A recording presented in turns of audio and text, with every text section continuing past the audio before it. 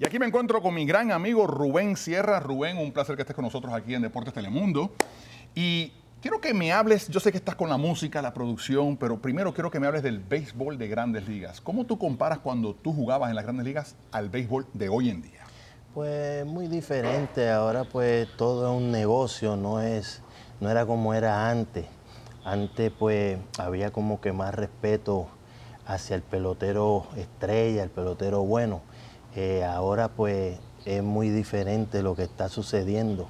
Eh, ellos tienen todo el dominio, ellos pues si tienen que cambiar a cualquier pelotero lo hacen y, y, lo hacen así sin preguntar. y a veces hasta el pelotero no sabe que lo cambian. Es así. Ahora yo me pregunto, yo me pregunto, señores, con los salarios que se están, los salarios que se están dando hoy en día, ¿cuánto estaría ganando un Rubén Sierra? Porque hoy en día todos la mayor parte de los peloteros, 20 millones al año, 15, tú, tú creciste en la era que no era, tú tenías que ser ahora. Oficial, pero bueno, eh, no me arrepiento, gracias a Dios le doy, tú sabes, gracias de que yo pues pude yo jugar bastante tiempo, jugué casi 20 años en las grandes ligas y y para mí fue un privilegio haberlo hecho. Rubén, cuando tú escuchas lamentablemente el béisbol, cuando, cuando se empaña con los escándalos de las sustancias, etcétera, etcétera, en aquel entonces de eso no se hablaba tanto como se está hablando hoy en día, de los esteroides, las sustancias controladas, etcétera.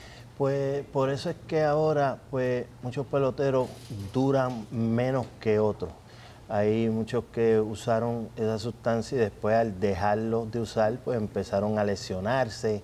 Eh, a caer en, productividad, productividad y, se dieron cuenta mucha gente de lo que estaba sucediendo, eh, que no era fácil. No, no, no, no. Ahora, Rubén, ¿por qué tú no te quedaste en el béisbol? ¿No te quedaste como, como manejador, manager y te fuiste a la música?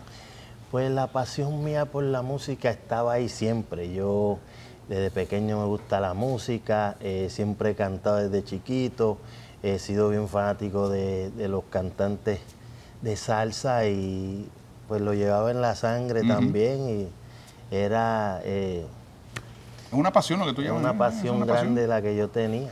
Oye, ven acá, pero esta no es la primera vez que tú sacas una producción, yo la había sacado anteriormente, eh, en la década de los 90, hasta cantaste en el Roberto Clemente, con la combinación perfecta, me acuerdo de RMM. Y en el Madison Square Garden también. Oh, perdón, excuse me, perdona sabe, como dice Tito Rojas, ¿viste? Perdona sabe. Oye, ven acá, y esta producción una inspiración muy importante para ti porque se la dedicas a tu mamá. Bueno, eh, uno de los temas eh, que le dedico a mi mamá es La más grande mujer. Es un tema muy sentimental, un tema que traté de hacérselo en vida, pero no pude, Dios no me dio la oportunidad, pero yo sé que de allá arriba ella me está oyendo y donde quiera que lo cante, lo cantó con el mismo sentimiento, no solamente para ella, para todas las madres del mundo. Y por último, Rubén, eh, si tú no fueras cantante y no fueras pelotero, ¿qué hubiera sido de Rubén Sierra?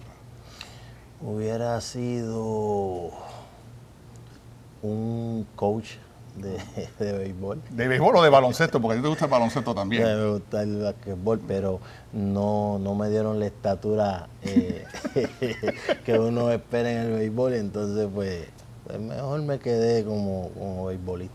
Oye, Rubén, muchas gracias por haber estado con nosotros. Mucho éxito, mucha suerte. Esta es tu casa, aquí tú vienes cuando te dé la gana, tú sabes. Gracias, gracias por darme la oportunidad. Para mí es un placer verte otra vez y, han pasado muchos años de no Se me cayó todo el pelo, estamos iguales ya.